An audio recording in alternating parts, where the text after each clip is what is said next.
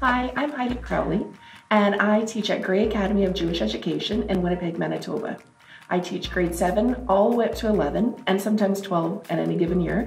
And I have been using Kids Boost Immunity really since the beginning, so for several years. And the reason that I keep using it year after year after year is because of how the students react to it.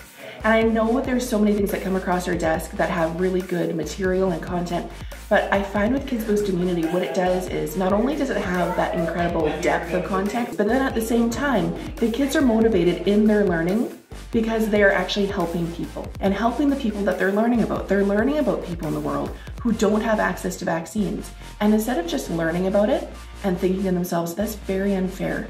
And in a few years, when I'm old enough, I'll try to help. No, today in the classroom, you're gonna help someone. And as soon as the students learn that, as soon as they feel that empowerment, it's a completely different kind of activity. The great thing about Kids Boost Immunity is that I use it all the way from grade 7 to grade 10. The content is challenging. The ideas really, really make them think critically. There's no easy click, click, click, and the students learn that really quickly and they get really invested. But you also see that year after year, the students want to keep doing it because it feels good to help people in the world.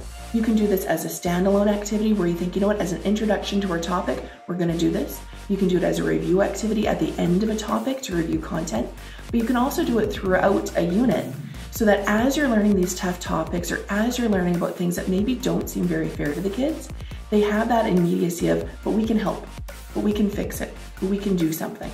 And so because of that, it's an essential tool in my classroom. I use it all the time. And if I don't use it, the kids will remind me to use it. So to me, that's a successful tool to use.